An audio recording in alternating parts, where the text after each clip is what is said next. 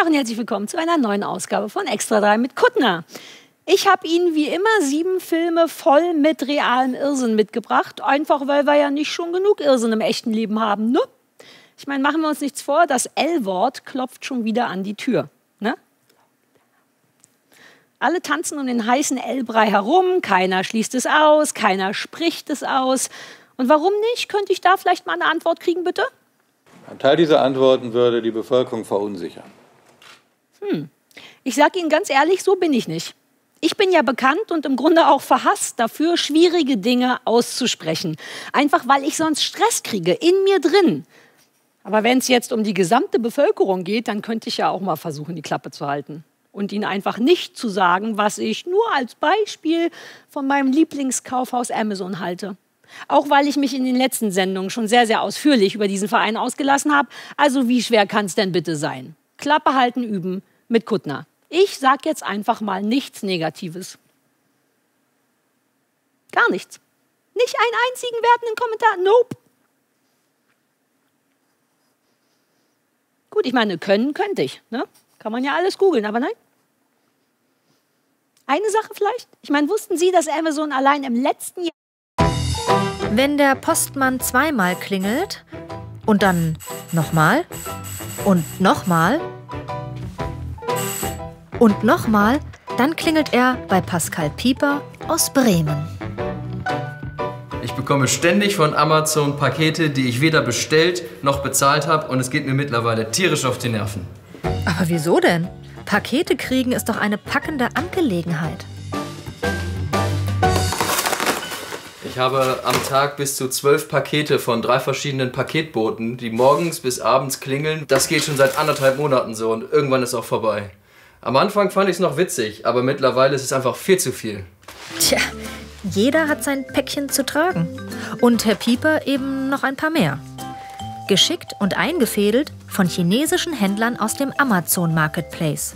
Und die Verbraucherzentrale Nordrhein-Westfalen liefert eine mögliche Erklärung dazu. Händler leeren angeblich so kostengünstig ihr gemietetes Lager bei Amazon. Statt unverkauftes teuer wieder gen China zu verschiffen, schicken sie es einfach wahllos an willkürlich ausgepickte Adressen in Deutschland. Ja, so ein Missgeschickt kann schon mal passieren. Dafür darf Herr Pieper offiziell behalten, was in seinen Paketen drin ist und hat jetzt einen Haufen nützlicher Dinge zu Hause. Das meiste ist wirklich Rotz. Halloween-Deko, ziemlich viel. Ein sexy Kimono, Kinderspielzeug, Krampfadercreme für meine Krampfadern, Katzenhalsbänder, Mega Rave Handschuhe, eine Projektionslampe für die Decke, so ein Bugzapper, mit dem ich Tiere töten kann, fünf von diesen Babysocken, in denen man angeblich Babys reinstecken kann. Amazon bietet zwar die Plattform für die Händler, kann aber laut eigener Aussage nur begrenzt in die Geschicke eingreifen. Warum nehmen Sie denn noch Pakete an, Herr Pieper? Ich nehme noch Pakete an, weil mir der, äh, der Kundendienst bei Amazon Prime gesagt hat, dass nur so sie nachvollziehen können, wo die Leute herkommen, also welche Händlerprofile das sind. Gebracht hat das äh, nichts. Tja, blöd. Herr Pieper, Sie sind leider ausgeliefert. Es muss ein Ende haben, auf jeden Fall. Irgendwann, also es ist voll hier. Ja, ja. Hat eben nicht jeder so ein Sendungsbewusstsein wie Sie. Huch. Sie haben Post? Ist doch geiles Zeug, was der hat. Ich will alles davon haben. Vielen Dank, Patricia Kümpel, für den Film. Und so leid es mir jetzt tatsächlich tut, dass der Typ jetzt auf dem ganzen Krempel rumsitzt, ein Teil von mir ist wirklich neidisch. Ich hätte mich schon ganz gern da mal durch den Kram durchgewühlt. Vielleicht ist da doch was Nützliches dabei. Bei offensichtlichem Müll werde ich natürlich auch ein bisschen unentspannt. Ne? Stichwort Matratzen. Ich meine, die eigene Matratze sieht ja ohne Laken schon wirklich eklig aus, ne? obwohl man selber gar nicht eklig ist. Wer glaubt denn unter diesen Umständen, dass tatsächlich irgendjemand Bock auf eine fremde fleckige Matratze hat, die auf der Straße liegt? Im Regen, neben Hundepipi, vermutlich von meinen Hunden. Ne, wenn ich so einen Pipi-Matratzenentsorger mal erwische, dann sage ich Folgendes. Das Abstellen von Dingen auf öffentlichem Grund ist eine bußgeldbewährte Ordnungswidrigkeit. Habe ich auswendig gelernt. Ich denke, damit werde ich den in die Knie zwingen. Das darf man nämlich nicht. Sachen irgendwo abladen und dann versperren die einem den Weg. Außer in Kiel. Da hätte man aber vermutlich auch lieber eine gelb gefleckte Matratze auf dem Weg stehen. Daniel Sprenger. Ach, die Kieler Luft. So gut, so frisch, so sauber. Auch hier am Theodor-Heuss-Ring, wo die Stickoxidbelastung durch dreckige Dieselautos jahrelang über dem Grenzwert lag. Das oberste Ziel ist, dass die Menschen hier wieder äh, mit der Luft atmen können, wie es rechtlich vorgeschrieben ist. Das haben wir viele Jahre nicht geschafft. Seit fast einem Jahr schaffen wir das. Aber nicht etwa durch blöde Fahrverbote. Nein. Dank dieser Anfang des Jahres eingerichteten Baustelle sind die Autos und damit die Abgase weit weg von der Messsonde. Sie ist da, die Baustelle, und ich bin froh, dass jetzt wirklich alle Ampeln auf grün stehen, dass wir ohne Fahrverbote ab sofort die Grenzwerte wieder einhalten können. Der alte schmale Radweg wurde im Zuge der Bauarbeiten durch einen breiteren ersetzt. Pendler können so umweltfreundlich radeln, statt im Stau zu stehen. Und wenn nach Ende der Bauarbeiten wieder drei Spuren befahren werden und es zu viele Abgase gibt, ist das nicht so schlimm. Mit sechs Luftfilteranlagen für 500.000 Euro macht Kiel die dreckige Luft einfach wieder sauber. Natürlich müssen die Anlagen irgendwo stehen. Der Fahrradclub ADFC findet ihre Position nicht so optimal. Wir sind doch sehr verwundert, dass man hier jetzt auf einem frisch angelegten Rad- und Fußweg äh, diese Anlagen aufstellt und damit das Fahren darauf ja, verhindert. Dabei gibt es längst eine Lösung, teilt uns die Stadt Kiel leider nur schriftlich mit. Dort, wo die Luftfilteranlagen stehen, müssen sich zwar vorübergehend Fußgänger und Radfahrer den schmalen Gehweg teilen, aber das soll höchstens drei Jahre so sein höchstens drei Jahre für die Gesundheit. Hier hat man auf der einen Seite die, Absaug also die Station auf dem Fußweg und kurz danach äh, die Absauganlage auf dem Radweg. Und das verengt den Weg dann doch sehr stark und kann tendenziell zu Gefährdungssituationen führen. Da heißt es aufpassen. Um den Messwert dauerhaft runterzubringen, müssen die Absauganlagen nun mal direkt vor der Messstation stehen. Da kann ich auch eine Plastiktüte drüber machen, dann ist sie noch besser geschützt. Es geht nicht um den Schutz der Messsonde, sondern um die Lungen der Menschen. Im Endeffekt wird hier äh, der Verursacher geschont. Man lässt dem Autoverkehr alle drei Spuren und Rad- und Fußverkehr, die gar keine äh, Abgase ausstoßen, äh, die werden hier stark eingeschränkt. Wenn schon. Die Maschinen dienen schließlich einer größeren Sache. Dann wird gemessen und dann halten wir den Grenzwert ein oder nicht. Und wenn wir den Grenzwert nicht einhalten, dann muss ich sagen, Jetzt fällt mir auch nichts mehr ein. Schon gar keine Dieselfahrverbote. Die wären ja völlig einfallslos. Och Mann, ey, Autofahrer haben es auch nicht leicht, ne? Ich meine, zum Glück formieren sich die geplagtesten unter ihnen inzwischen. Das ist ganz toll. Es gibt nämlich bereits die Gruppe der anonymen SUVs in Innenstädten, Abkürzung Assis. Ist das nicht fantastisch? Und was die Assis alles ertragen müssen, das geht auf keinen Echtlederbezug. Viele SUV-Fahrerinnen berichten von bösen Blicken, teilweise noch mehr bösen Blicken, bis hin zu richtig bösen Blicken, wenn die ihre Kinder in die Schule fahren. Ne, wofür braucht man denn hier bitte so einen verdammten Panzer? Scheinen die bösen Blicke zu sagen. Aber hey, zwischen Hot Yoga und der Kita Kritzelknirpse kann einiges passieren. Ich meine, wer weiß denn schon so genau, ob man da vielleicht nicht doch mal in so einen gefährlichen Erdrutsch gerät? Und da haben wir vom Parken noch gar nicht gesprochen, Freunde. Jeder Deutsche vergeudet laut einer Studie jährlich im Durchschnitt 41 Stunden mit der Suche nach einem Parkplatz. 41 Stunden. Deswegen sind übrigens auch 64 Prozent aller Autofahrer unzufrieden mit der Parksituation in ihrer Stadt. Und was auch total irre ist, laut dieser Studie kostet einen die Suche im Durchschnitt 900 Euro im Jahr extra. Ein knapper Tausi, einfach für Benzin, vergeudete Arbeitszeit, Abgas, Mehrbelastung. 900 Euro nur fürs Parkplatzsuchen. Also Sie merken vermutlich, worauf ich hinaus will. Parken ist ein ziemlicher Pain in the Ass.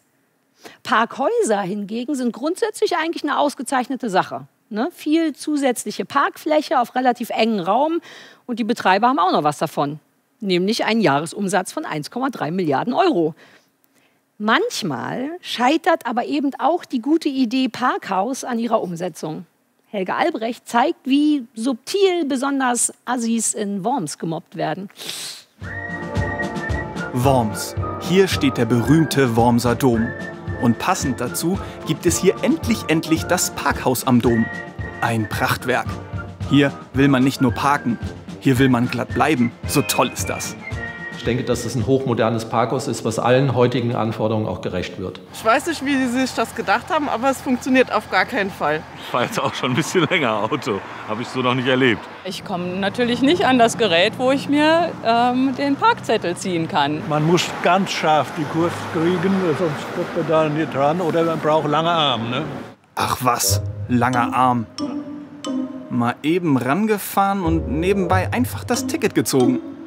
Ist doch ganz einfach. Fenster auf und... Ja, gut. Man muss eben nur richtig die Kurve kriegen. Oder vielleicht noch mal zurück und wieder vor. So. Sehen Sie jetzt, der kommt auch nicht ran. Das geht nicht. Von der Seite, das geht nicht. Das ist unmöglich. Das ist verkehrsplanerisch ist es voll falsch geplant. Ich weiß nicht, was wir für Ingenieure heutzutage auf, auf, in, im Land haben. Nicht? Gehen Sie mal nach Dubai, in zwei Jahren steht da ein, ein Flughafen da. Nicht? Na Moment, wir sind hier immer noch in Worms. Fünf Jahre für ein Parkhaus sind da völlig normal. Und Wormser Ingenieurskunst liegt im Auge des Baudezernenten. Ich sehe aus unserer Sicht jetzt nicht, dass das ein Fehler war, sondern wir haben ja den Radius der Kurve entsprechend von einem Verkehrsplaner auch berechnen lassen. Und der sagt, für eine Zufahrt ist der Radius ausreichend. Na eben. Und mittlerweile haben die Wormser den Bogen doch auch raus. Ich bin auch extra beim Reinfahren schon einmal äh, in Kreise gefahren und wieder umgedreht, weil dann kommt man besser rein. Wenn ich von hier oben komme und äh, da fahre ich das geradeaus, fahre ich links und hier rechts hierher und dann komme ich direkt an die Säule und brauche gerade die Hand auszustrecken. Genau. Wenn es von der einen Seite nicht klappt, dann fährt man eben einmal kurz vorbei, die Straße lang, im Kreisel drehen, zurück in der anderen Richtung und zack, kein Problem. Aber im Ernst, Worms will hier schnell die Kurve kriegen. Und darum soll diese Verkehrsinsel weg. Und dann könnte man früher quasi nach links ausscheren und rechts die Zufahrt dann gewähren. Dann kommt man vielleicht etwas eleganter rein. Und raus geht's dann auch schon viel besser. Naja, fast. Im nun folgenden Beitrag geht es um das Thema Greenwashing. Greenwashing bedeutet im Grunde, dass Firmen sich so ein grünes Image besorgen, ohne wirklich umweltfreundlich zu sein. Also im Prinzip ist es das Gleiche, wie wenn ich mir Joggingklamotten kaufen würde und die sehr gut sichtbar in mein Auto lege, damit meine Nachbarn mich für wahnsinnig sportlich halten. Und in Wahrheit liege ich aber den ganzen Tag auf dem Sofa und fresse fettiges Zeug. Ist im Grunde einfach nur cleveres Marketing. Für meine Cholesterinwerte natürlich nicht so gut. Ach, Sie wollen ein seriöseres Beispiel für Greenwashing. Bitte schön, Daniel Sprenger erzählt Ihnen vom Greenwashing einer Ölplattform. Ja, Sie haben richtig gehört, eine Ölplattform.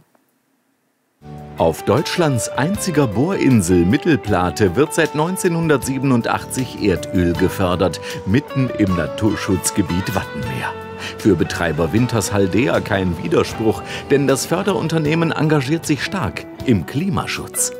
Hier haben wir gerade die Erdölförderplattform Mittelplate komplett auf erneuerbaren Strom umgestellt. Das heißt, die Förderung geschieht heutzutage mit ab jetzt mit 100 Prozent erneuerbarem Strom, den wir aus Schleswig-Holstein äh, beziehen. So geht Zukunft. Im Werbefilm erklärt Wintershaldea, was sich konkret geändert hat. Der für die Förderung benötigte Strom wurde bisher an Land und mit einer Gasturbine auf der Insel erzeugt. Diese wurde durch mitgefördertes Erdölbegleitgas angetrieben. Nun also Ökostrom von Land zur Ölförderung auf See, ein Meilenstein der Energiewende. Wir sparen damit im Jahr 36.000 Tonnen CO2 ein. Wirklich eine Riesenmenge, äh, die wir mit dieser Maßnahme einsparen können. Die eingesparte Menge klingt erstmal sehr viel, aber wenn man das äh, der Fördermenge der Mittelplate-Plattform gegenüberstellt, dann relativiert sich das sehr schnell. Hm, mal rechnen. 36.000 Tonnen CO2 werden pro Jahr eingespart. Gut, es werden pro Tag etwa 18.900 Barrel Erdöl gefördert. Ein Barrel produziert laut Internationaler Energieagentur 500 Kilogramm CO2, macht 9.450 Tonnen am Tag mal 365 Tage, ergibt mit 3.449.250 Tonnen CO2. Das ist ja doch etwas mehr als die Einsparung durch den Ökostrom. Für uns ist das an dieser Stelle maximal unglaubwürdig, denn ein Stopp der Erdölförderung über die Mittelplate wäre etwa 100 Mal effektiverer Klimaschutz, als jetzt den Landstrom über erneuerbare Energien zu sicherzustellen. Und was passiert eigentlich mit dem Gas, das auf Mittelplate jetzt nicht mehr zur Stromerzeugung verbrannt wird? Das Gas wird äh, später äh, wird, geht mit in den Verkauf und wird an Land dann äh, verwendet. Und wozu? Zur Energieerzeugung. Es äh, wird also verbrannt. Ja. ja. Sie brauchen ja für die Energie brauchen Sie ja. An irgendeiner, äh, äh, an irgendeiner Stelle werden Sie letztendlich brauchen Sie die Energie. Irgendwo brauchen sie die Energie und am meisten auf Mittelplate, um sich die Klimabilanz schön zu rechnen. Was ich an unserer kleinen Sendung hier ja besonders mag, ist, dass die regelmäßig Probleme aufzeigt, die ich nur allzu gut aus meinem privaten Leben kenne. Ich meine, wir haben ja gerade schon über Schwierigkeiten bei der Parkplatzsuche gesprochen und ein anderes Thema, was mich regelmäßig halb wahnsinnig macht, sind Hubschrauberlandeplätze. Ich meine, ich denke, ich verlange nicht besonders viel, aber seit die Stadt Berlin mir offiziell verboten hat, mit meinem Hubschrauber im Volkspark Friedrichshain zu landen, weiß ich wirklich nicht mehr, was ich machen soll. Dabei hatte ich mir extra vor ein paar Jahren noch so einen kleinen, frechen Stadthubschrauber gekauft. Na gut, die meisten von Ihnen kennen das Problem ja sicher, ne? Gerade nach so einem größeren Wochenendeinkauf oder einem Besuch bei Ikea ist es sehr, sehr ärgerlich, wenn man seinen Hubschrauber nicht in der Nähe der eigenen Wohnung landen kann. Und in diesem Bereich, wenn Sie mich fragen, machen die Städte echt viel zu wenig. Wirklich. Deshalb schaue ich relativ neidisch auf die Stadt Köln, denn da bemüht man sich nämlich bereits seit einer ganzen Weile um den Bau einer Rettungshubschrauberstation. Leider verzögert sich die Fertigstellung des Projektes nun schon seit geraumer Zeit. Und wenn ich als Berlinerin für eine Sache absolut kein Verständnis habe, dann für nachlässig geplante Flughafenprojekte. Daniel Sprenger berichtet. So eine üselige Müllberg wie der hier in Köln-Kalk wären andere Städte einfach nur Müll. Aber in Köln denke der Stadtvertreter nachhaltiger und beschließe 2011 dort in zentrale Rettungshubschrauberstation zu bauen, ohne dort drüber lang Nord zu denken. Was hier alles vergraben liegt, weiß niemand. Wenn die Stadt Köln den Berg kauft, dann ist sie künftig auch für die Sanierung zuständig. Das könnte sehr teuer werden. Ach, was kostet Welt? Nur weil man nicht weiß, was so all in dem Berg drin litt, kann man doch 2013 trotzdem schon mal anfangen zu bauen für läppische 11 Millionen Euro. In Köln sind sie alle Jahr begeistert von der Idee. Die Hubschrauberstation lehnen wir natürlich ab wie eh und je. Wir halten sie auch in der Lage für einen Irrsinn wie eh und je. Nach unseren Informationen ist dieser Berg so instabil, äh, dass man nicht davon ausgehen kann, äh, dass er sich für eine solche Station eignet. Man muss sich das äh, so vorstellen, darunter liegende Kalkmasse ist wie ein wabbernder Pudding. Von welche Pudding tät noch immer Jote, Jange? Wo soll der Rettungshubschrauber denn noch süns hin? Nur Meerheim zum Unfallkrankenhus etwa? Oder gar noch Flughafen Köln-Bonn? Das ist doch all nicht so praktisch wie eine alle schwabbelige Mülldeponie. Ever et güt wie güt im Sommer 2015. Das Gebäude sinkt ab, seit Mai schon um stattliche 12 Zentimeter. Und es geht weiter bergab. Hier sollte eigentlich eine Tür eingebaut werden, doch die passt längst nicht mehr. So stark hat sich das Gebäude in diesem Teil verzogen. Oh, wie geht das dann? Vor dem Bau der Hubschrauberstation auf dem Kölner Kalkberg ist der Baugrund offenbar nicht ausreichend untersucht worden. Nee, Eva, hinterher. Ein von der Stadt Köln beauftragter Gutachter hat festgestellt, dass es im Untergrund Kalkablagerungen gibt, die offenbar nicht stabil genug sind, um das Gebäude zu tragen. Eva, das hätte die Stadt ja vorher auch nicht ahnen können, dass so eine Müllberg so eine Bau nicht trägt. Und man hätte ja zum Lärmschutz noch extra Äd obgeschüttet. Jetzt muss die Erde wieder abgetragen werden. Die Kosten für das Projekt steigen damit laut Stadt um weitere 6 bis 7 Millionen Euro. Am Ende könnte die Hubschrauberstation deutlich mehr als 20 Millionen Euro kosten. Hingerher ist man immer schlauer, selbst in Gölle und verhängt Ende 2015 eine Baustopp für den Kalkberg und im Sommer 2020 Güterus. Die Rettungshubschrauber sollen dauerhaft am Flughafen Köln-Bonn stationiert werden. No also doch Rettungshubschrauber ob in einem Flughafen. War denn eine Idee. Und was ist jetzt mit dem Kalkberg? Bis heute wurden hier mehr als 30 Millionen Euro Steuergeld vergraben. Das ist ein Haufen Geld. Ob in einem Haufen Müll. Ich lache nicht hinter meiner Karte, ich musste nur kurz husten. Das ist den Kölnern jetzt sicherlich ein bisschen peinlich, was mit ihrem Flughafenbau da. Aber ich würde einfach ablenken in deren Interesse. Wir müssen nämlich eh mal über ein überflüssiges Ministerium reden. Und nein, ich spreche nicht von Horst Seehofers Heimatministerium. Die sind meiner Meinung nach jeden Cent unserer hart verdienten Steuergelder wert. Ich meine, wer könnte sich in Deutschland denn besser um einen zeitgemäßen Heimatbegriff kümmern als Horsts herrlich verrückte Multikulti-Truppe, oder? Ich meine, schauen Sie sich diesen diversen Haufen doch mal an. Da ist es ja ganz egal, welche Farbe deine Krawatte hat. Brille, keine Brille, who cares? Hier ist wirklich für jeden Menschen Platz, sieht man ja. Also solange er weiß ist und einen gottesfürchtigen heterosexuellen Penis sein eigen nennt, aber das sieht mir doch so aus. Der Fairness halber sei jetzt natürlich erwähnt, dass die das selber irgendwann gemerkt haben und im letzten Jahr immerhin eine Frau dazugenommen wurde. Wup, wup. Aber nach einem neuen Gruppenbild mit Dame kann man natürlich lange suchen. Ich sag's nur. Aber wie gesagt, es geht ja jetzt ausnahmsweise nur um das zweitüberflüssigste Ministerium Deutschlands und das wohnt in Hannover, was sicher auch kein Zufall ist. Niedersachsen ist einzigartig gerade was seine Ministerien in Hannover betrifft. Seit der Landtagswahl vor drei Jahren gibt es hier eine neue Ministerin. Sie ist krasser Europa-Fan.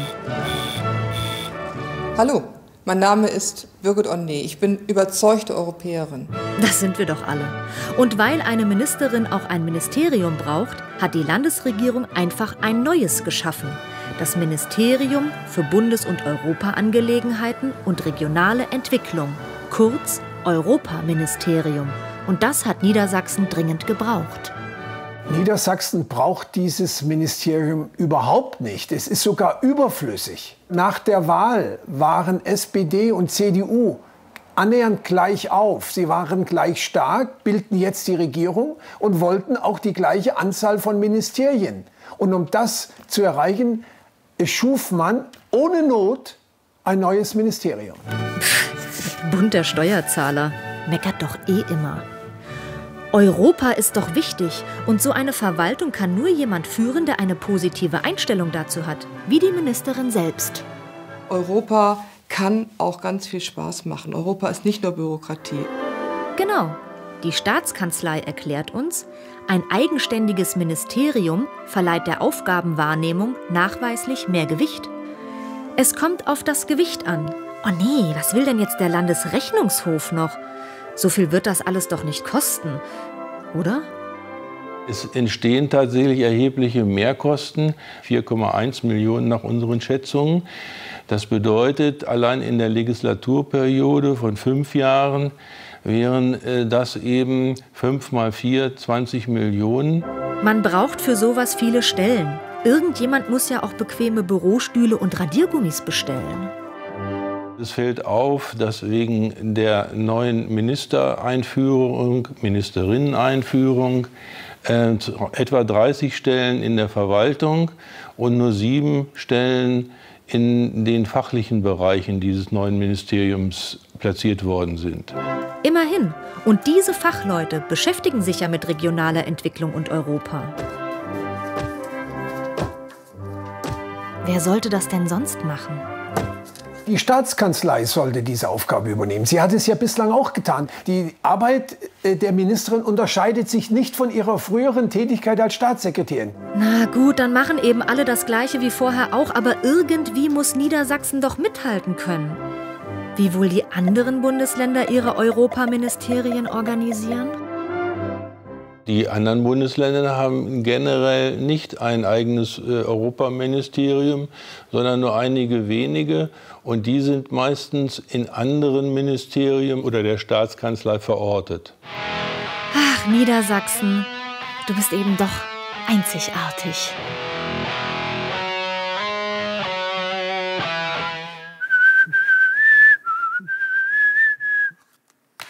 Vielen lieben Dank an Linda Luft. Unser Extra 3 Klassiker heute dreht sich um eine Sache, die eigentlich jeder mag, nämlich Brücken.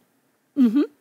Seit Jahrhunderten bringen uns diese wirklich liebenswerten Bauwerke über reißende Flüsse, tiefe Schluchten oder stark befahrene Straßen. Wirklich, ich mag Brücken. Ich würde Brücken jederzeit auf Instagram folgen. Ich meine, allein im Netz unserer Bundesfernstraßen gibt es aktuell etwa 39.500 davon. Und deren Gesamtlänge beträgt über 2100 Kilometern, was laut Verkehrsministerium der Strecke von Neapel nach Flensburg entspricht. Wobei ich nicht genau weiß, warum jemand, der in Neapel wohnt, jemals freiwillig nach Flensburg fahren würde, aber nicht mein Bier. Ich habe ja eigentlich noch sehr viel mehr heiße Fakten über Brücken für Sie, aber die Redaktion meinte vor der Sendung noch, ah, Sarah, lass das mal lieber mit deinen Brücken. Das finden die Zuschauer langweilig. Ich glaube das nicht. Die Leute lieben Brücken. Aber ich möchte sie auch nicht belabern. Nur so viel. Brückenfans wie Sie und ich müssen beim nächsten Film sehr, sehr stark sein. Das Bundesverkehrsministerium baut in Neuzelle in Brandenburg eine nagelneue Brücke. Sie ist fast fertig. Das Geländer ist auch schon dran. Allerdings ist es etwas zu ausufernd geraten. Und Familie Nährlich kommt jetzt mit ihrem Auto weder rein noch raus. Schon blöd. Die rödeln hier ewig in drei Tage an der Baustelle rum. Ne? Und dann kommt jemand an und setzt da so ein Ding hin. Ist doch krank, oder? Ich meine, die wussten doch ganz genau, dass wir da hoch und runter müssen. Dass das Brückengeländer die Hofeinfahrt etwas stört, haben die Herren vom Landesbetrieb Verkehr auch gemerkt. Ist da was schiefgelaufen? Ja, eine Kleinigkeit kann passieren, sollte nicht. In dem speziellen Fall ist das, Geländer, das Geländer länger, als es sein sollte. Einem Tick vielleicht, so zwei Meter. Aber die genaue Länge so einer Brücke zu planen, ist einfach auch schwer im Vorfeld. Aufgrund der örtlichen Situation war es gar nicht so einfach zu erkennen im Vorfeld. Erst als das Geländer montiert wurde, haben wir es wirklich gesehen, dass es in die Zufahrt reinragt. Bisschen spät vielleicht, aber es ist ja auch schwierig. Erst macht die Behörde einen Entwurf, dann macht eine Baufirma einen Ausführungsplan. Und die Behörde muss den Ausführungsplan kontrollieren. Sind aber auch viele Zahlen. Und dabei? Dabei ist das übersehen worden. Wir haben in der Ausführungs... Nee, kann man dazu sagen? Dass wir es nicht gesehen haben in der Ausführungsplanung? Ja, kann man. Gut, die Baufirma hätte es auch sehen können. Die Firma hat es ja selber auch gesehen. Und die Menschen in Neuzelle sehen es auch. Jeden Tag. Planer, da muss irgendwie Schlafwagen dabei. Da wusste die rechte Hand nicht, was die linke tat. Das geht gar nicht. Sowas geht überhaupt nicht. Klar geht das. Sieht man doch. Und wer hat nun Schuld? Wer hat Schuld, kann man in dem Fall nicht sagen. Es ist einfach ein unglückliches Zusammentreffen von verschiedenen Umständen. Wenn Umstände unglücklich zusammentreffen, kommt man mit dem Auto nicht mehr vom Hof. Aber wenn die Brücke fertig ist, wird das Gelände abgesägt. Ganz bestimmt. Sind ja Profis hier. Boah, Brandenburger sind super niedlich, ne? Selbst wenn die Fehler machen. Danke für den Film an die äußerst wunderbare Martina Hausschild. Du musst mal wieder hier vorbeikommen, Martina. Hier liegt super viel Liebe für dich rum. Wir haben alles extra desinfiziert, wirklich. So, wie schnell die Zeit vergeht, wenn man mal ganz in Ruhe über Brücken und Parkhäuser redet, ne? Da soll noch mal jemand sagen, der NDR hätte den Kontakt zur jungen Zielgruppe verloren.